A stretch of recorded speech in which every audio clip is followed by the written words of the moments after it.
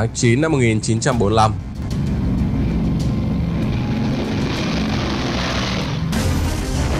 Khi hai quả bom nguyên tử phát nổ tại Hiroshima và Nagasaki.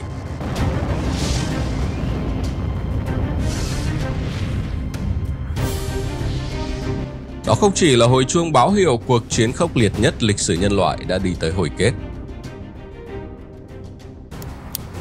Đó còn là phát súng báo hiệu cho thế giới chính thức bước vào một thời kỳ mới. Đánh dấu cho kỷ nguyên kinh hoàng của một thảm họa vô tiền khoáng hậu. Chiến tranh hạt nhân Từ cuộc khủng hoảng tại Cuba cho đến cuộc chạy đua vũ trụ không hồi kết. Hai siêu cường Liên Xô và Mỹ đã cùng nhau tạo ra một bức tranh đầy u ám, kéo dài xuyên suốt hàng thập kỷ. Cái mà người ta thường vẫn gọi là chiến tranh lạnh. Vậy bạn có biết đâu mới thực sự là nguyên nhân sâu xa hình thành nên cuộc chiến này? Và có những chiến dịch bí mật nào xuyên suốt khoảng thời gian đó chưa từng được công khai.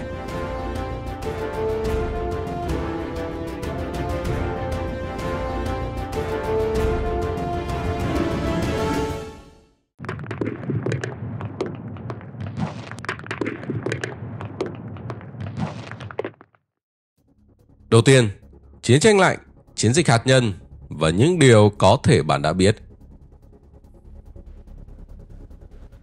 Tháng 4 năm 1945, Hợp Trung Quốc Hoa Kỳ. Sự ra đi của Tổng thống Roosevelt là một sự kiện đặc biệt quan trọng đối với tình hình chính trị cũng như nền kinh tế Mỹ. Ông đóng vai trò như là một biểu tượng không thể thiếu khi nhắc đến sự lãnh đạo, sự kiên nhẫn lẫn sự đổi mới trong lịch sử xứ sở cờ hòa. Với bốn nhiệm kỳ tổng thống từ năm 1933 đến năm 1945, ông đã định hình một thời kỳ hưng thịnh, vượt qua nhiều thách thức đầy biến động kinh tế, xã hội đồng thời tạo ra hàng loạt thay đổi có ảnh hưởng sâu sắc đối với toàn thế giới. Và người kế nhiệm của ông, một cái tên gây ấn tượng mạnh mẽ ngay từ lần đầu nhắc tới. Harry Truman.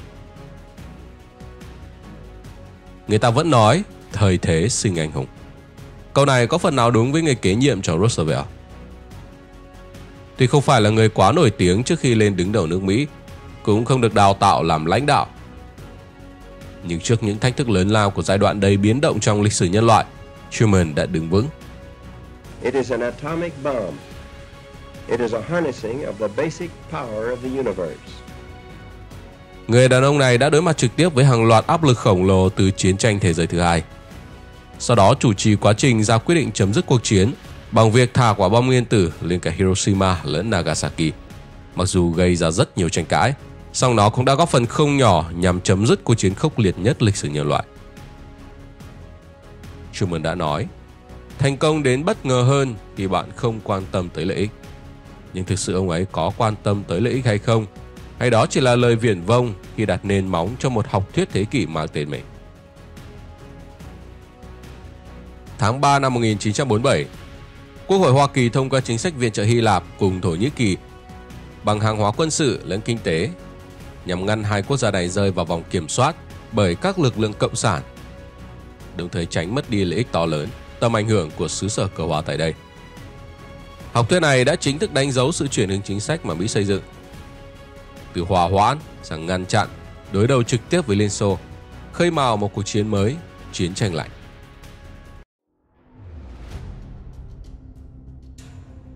Còn về hạt nhân thì sao? Trước đó 2 năm, ngay từ khi chưa kết thúc cuộc chiến khốc liệt nhất lịch sử loài người. Tại hội nghị Potsdam gần Berlin, thời điểm tháng 7 năm 1945, Truman đã hăm dọa Stalin bằng cách đề cập đến việc thực hiện chiến dịch bom nguyên tử nhằm nhanh chóng kết thúc chiến tranh và sự thực là nó đã được thực hiện chỉ hai tháng sau đó.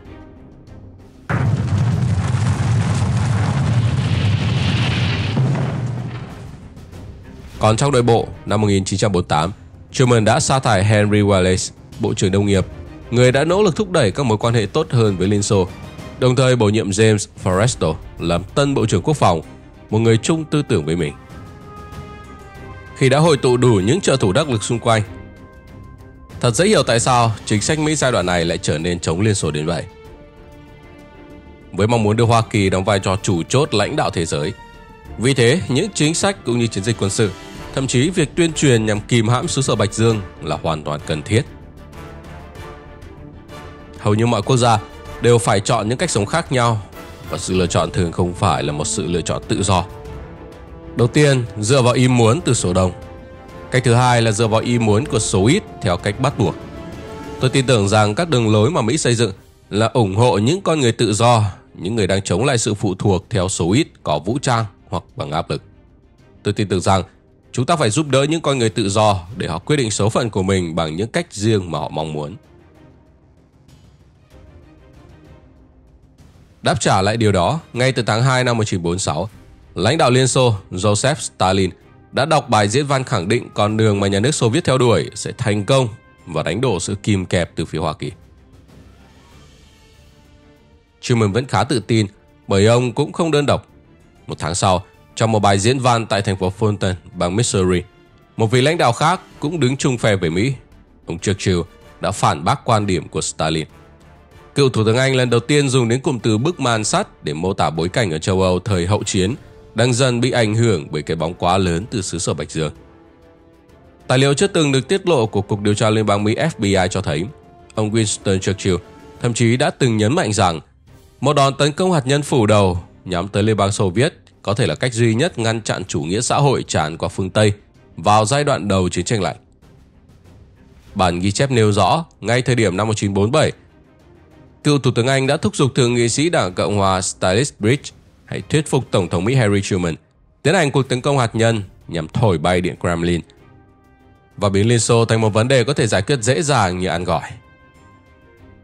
Sở dĩ vẫn có thể tác động từ chính phủ Mỹ bởi dù mất ghế thủ tướng ngay sau khi chiến tranh chấm dứt ở châu Âu, nhưng với công lao của mình, Churchill vẫn có thể coi như chính khách sở hữu tầm ảnh hưởng lớn bậc nhất tại Anh. Một trong những nhà lãnh đạo đầu tiên trên thế giới lên tiếng công khai về cái mà phương Tây cho là mối đe dọa từ Liên Xô. Churchill cho rằng mối đe dọa từ Liên Xô quá lớn đến nỗi việc hy sinh hàng trăm ngàn sinh mạng người dân nước này trong một cuộc tấn công hạt nhân là cái giá có thể chấp nhận được để đổi lấy tương lai cho toàn cầu.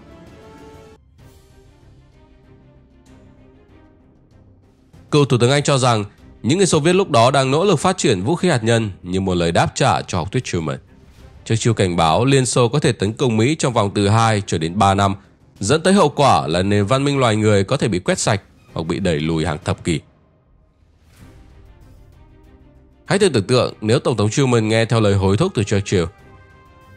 Liên Xô có thể sẽ gục ngã trước một cuộc tấn công hạt nhân phủ đầu do họ vẫn chưa thử nghiệm thành công bom nguyên tử hay vũ khí hạt nhân cho tới tận năm 1949. Cần phải nói rằng, Churchill cũng đúng khi nói về chương trình phát triển vũ khí hạt nhân Liên Xô, bởi Hồng quân đã cho nổ quả bom nguyên tử đầu tiên là RDS-1 tại bãi thử nghiệm Semipalatinsk ngày 29 tháng 9 năm 1949 trước sự ngạc nhiên từ phía Nhà Trắng. Điều này chứng tỏ rằng những người Xô Viết đã lên kế hoạch phát triển loại vũ khí này từ rất lâu nhằm khẳng định vị thế số 1 ngang hàng với gã khổng lồ phía bên kia đại dương. Tuy nhiên không như trước chiều lo ngại, Điện Kremlin không hề dùng bom nguyên tử chống lại Hoa Kỳ, mà chỉ sử dụng chúng như một lời gian đe, đồng thời kết hợp cùng chiến tranh lạnh. Thông qua sự so găng trên mặt trận ngoại giao, chạy đua vũ trang, hàng loạt cuộc chiến ủy nhiệm bằng vũ khí thường trên toàn cầu để thể hiện uy lực. Bản ghi chép của FBI lần đầu tiên được công bố trong một cuốn sách có tên Khi các mãnh sư gầm giống, gia tộc Churchill và gia tộc Kennedy, được viết bởi nhà báo điều tra Thomas Meyer, đã có một vài giải thích cho quan điểm nhắm vào Liên Xô của Churchill. Meyer phân tích rằng, do từng chứng kiến nhiều bước phát triển của vũ khí trong hai cuộc đại chiến thế giới, nên dưới mắt của Churchill, một vụ ném bom nguyên tử chỉ là một sự phát triển kế tiếp cho chiến tranh quý ước, cho đến khi ông nhận ra sự hủy diệt kinh người mà vũ khí hạt nhân mang lại. Nhà báo Mỹ cho hay, Churchill tỏ ra hiếu chiến hơn hẳn khi rời khỏi ghế thủ tướng lần thứ nhất. Tuy nhiên sau khi ông quay lại quyền lực vào năm 1951, việc tấn công hạt nhân Liên Xô lại gần như không được đề cập trở lại.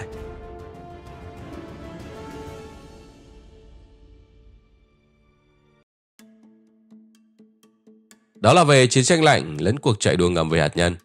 Còn một chiến dịch khác mà Mỹ đã thực hiện mà chắc hẳn nhiều người chưa từng nghe tên tới chiến dịch chậu giặt.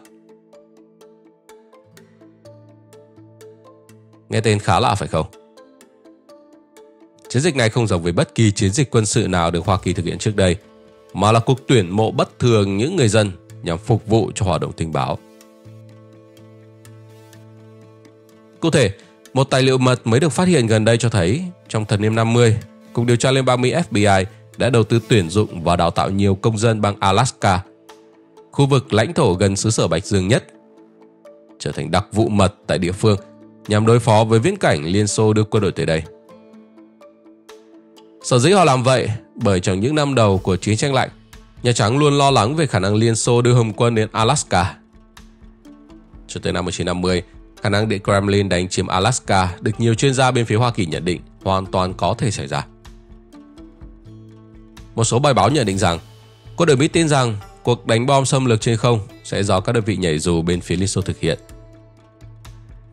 Và các mục tiêu có nhiều khả năng bị tấn công là Nome, Fairbanks, Anchorage và Seward. Vì vậy, giám đốc của FBI lúc đó, ông Edgar Hoover mà các bạn đang nhìn trên hình đây. Ông nắm giữ vị trí này trong gần 5 thập kỷ, từ năm 1924 cho đến khi ông qua đời vào năm 1972, biến ông trở thành một trong những giám đốc sở hữu thời gian phục vụ lâu nhất trong lịch sử FBI. Hoover nổi tiếng vì đã định hình, đồng thời mở rộng FBI thành một cơ quan thực thi pháp luật liên bang mạnh mẽ và có ảnh hưởng sâu sắc tới an ninh chính trị Hoa Kỳ. Dưới sự lãnh đạo của Hoover, FBI đã thiết lập hệ thống điều tra hiện đại, đồng thời tạo ra nhiều công cụ để theo dõi lẫn xóa bỏ hàng loạt tổ chức tội phạm cùng nhiều hoạt động chống phá pháp luật, tạo ra một thời kỳ ổn định cho nền an ninh Hoa Kỳ.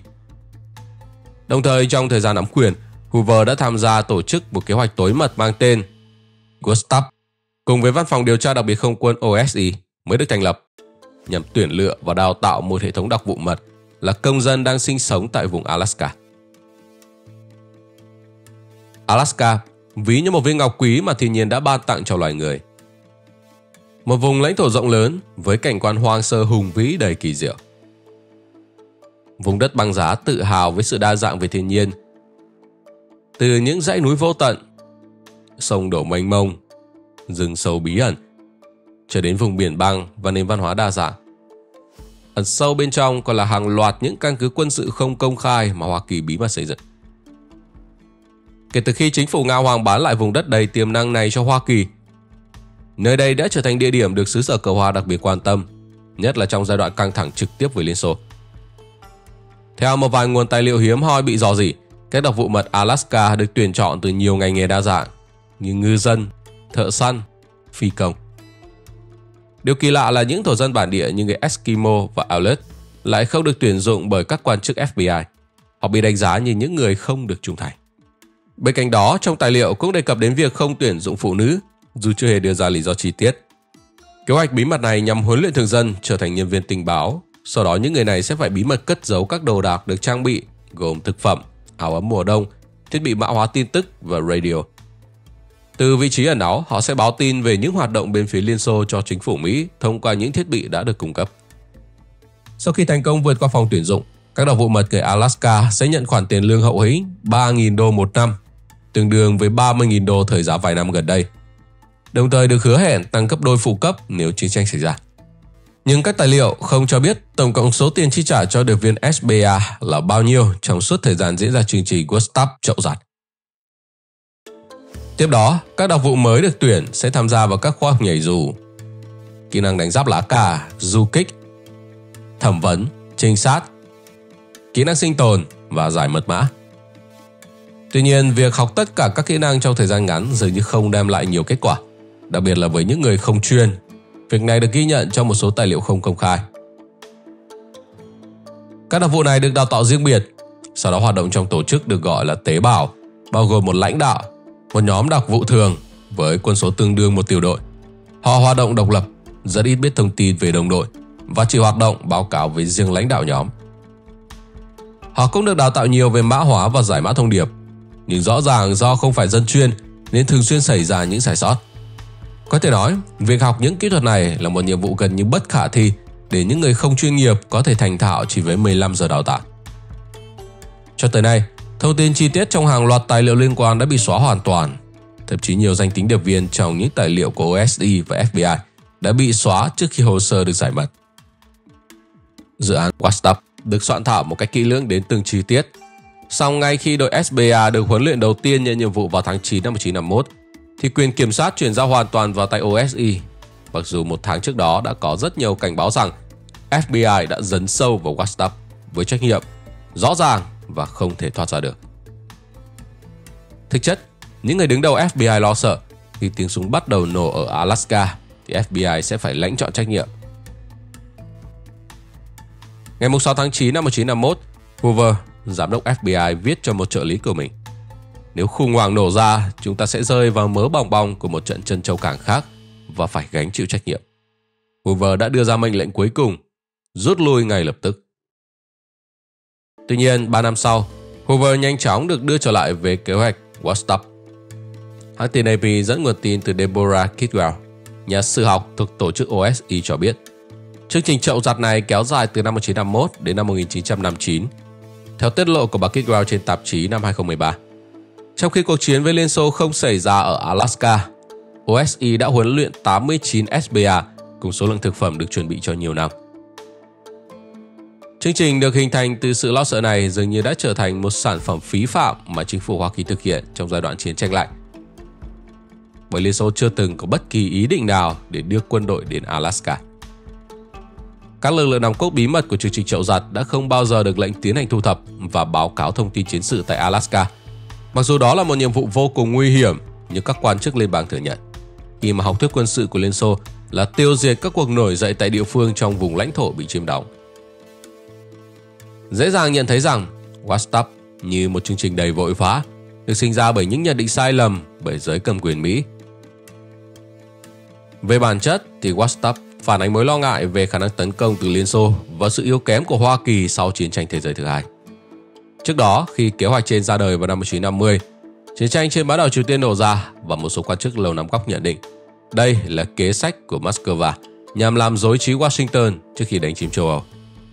Mùa hè năm trước đó, Liên Xô đã khiến cả thế giới bàng hoàng khi khai nổ quả bom nguyên tử đầu tiên, làm xứ sở cầu hoa tin rằng nhận định mà mình đưa ra là có cơ sở. Theo hồ sơ lưu trữ chính thức về lực lượng không quân OSI, Vostok được biết đến trong chính phủ với một số mật danh khác như là Kobosko, Stigmatic hay Catbot, được ví như dự án dài hơi và căng thẳng nhất trong chiến tranh lạnh. FBI đã dành mật danh riêng cho dự án này là Stage Tóm lại, về cơ bản, thì What's Up bao gồm hai giai đoạn với vấn đề ưu tiên hàng đầu lẫn cấp bách hơn cả. Chính là chương trình đào tạo điệp viên tuyến sau hay điệp viên bản địa tại Alaska như đã nói ở trên. Tiếp theo là một nỗ lực song song để tạo ra một lực lượng hoạt động dự phòng từ chính cư dân ở Alaska, được huấn luyện để bí mật tổ chức việc di tản của các phi hành đoàn bị bắn hạ có nguy cơ bị bắt giữ bởi lực lượng bên phía Liên Xô. Kế hoạch này còn có sự góp mặt lặng lẽ từ CIA sau cùng thì chúng đều không có cơ hội được thực hiện. Đồng thời đây cũng có thể coi như là một trong vô vàn những chiến dịch thất bại tốn kém mà Hoa Kỳ đã xây dựng, xuyên suốt hàng chục năm chiến tranh lạnh.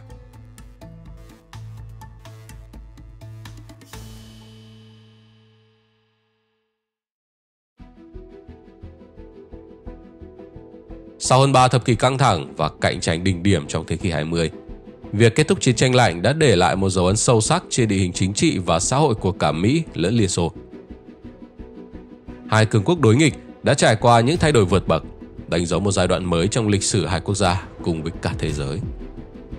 Tại Hoa Kỳ, màn đêm chiến tranh lạnh đã rút màn để lộ bức tranh mới về một đất nước đang tìm kiếm sự tương hỗ và sáng tạo.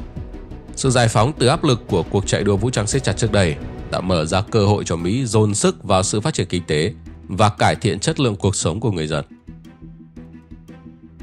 Tuy nhiên đi cùng với đó, nước Mỹ cũng phải đối mặt với thách thức về việc định hình lại vai trò và tầm nhìn quốc tế cho một thế giới mới. Liên tục thay đổi cũng như hoàn thiện để giữ vị trí siêu cường số một hành tinh.